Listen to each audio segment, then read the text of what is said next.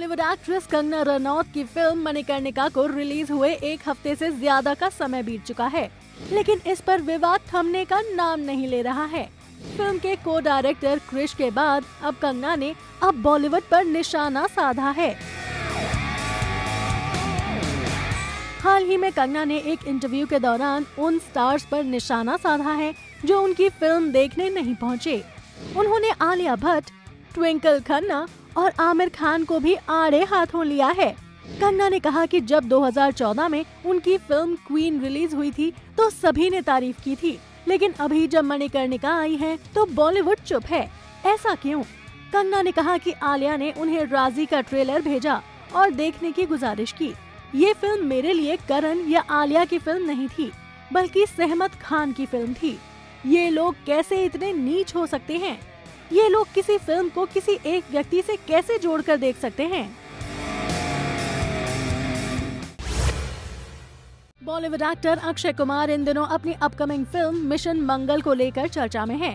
हाल ही में अब अक्षय का करण जौहर के talk show coffee with Karan से एक वीडियो सोशल मीडिया पर वायरल हो रहा है। इस वीडियो में शो के होस्ट करण अक्षय से पूछ रहे हैं कि अगर आप शादीशुदा ना होते तो किस एक्ट्रेस को रोमांटिक डेट पर ले जाना चाहते?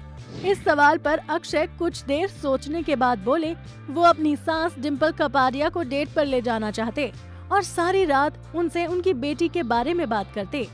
इस पर करण अक्षय से कहते हैं कि ये जवाब ज़रूर तुम्हें तुम्हारी वाइफ ट्विंकल खन्ना ने सिखाया होगा।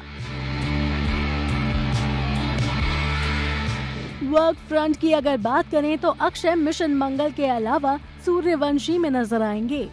इस फ़िल्म में उनके साथ सोनम कपूर को लेने के लिए चर्चा हो रही है।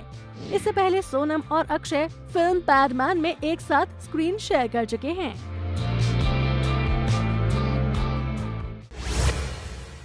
बॉलीवुड के जग्गू दादा यानी कि जैकी श्रॉफ ने बॉलीवुड में ऐसी ऐसी फ़िल्में दी हैं, जिसे जहन से निकाल पाना मुश्किल ही नहीं, नामुमकिन है।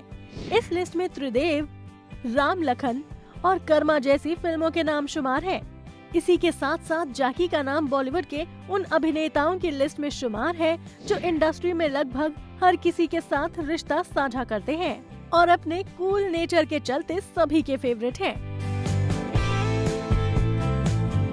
आज हम जैकी से जुड़ी एक ऐसी खबर आपके साथ शेयर करने वाले हैं कि सलमान खान के फैंस चौंक जाएँगे जी हाँ आपको बता दें कि सलमान को बॉलीवुड में जैकी दादा की वजह से ही ब्रेक मिला था।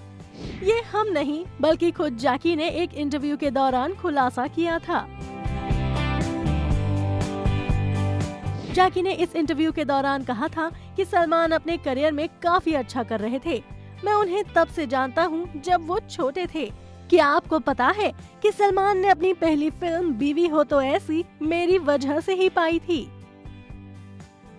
यही वजह है कि सलमान जैकी का बहुत सम्मान करते हैं और जल्द ही दोनों अली अब्बास ज़फ़र की फ़िल्म भारत में भी साथ नज़र आएँगे। मीडिया रिपोर्ट्स की माने तो इस फ़िल्म में जैकी सलमान खान के पिता का रोल अदा करने वाले हैं। बीते दिनों ही इस फ़िल्म का नया टीजर रिलीज़ हुआ था, जिसे दर्शकों ने खूब पसंद किया है।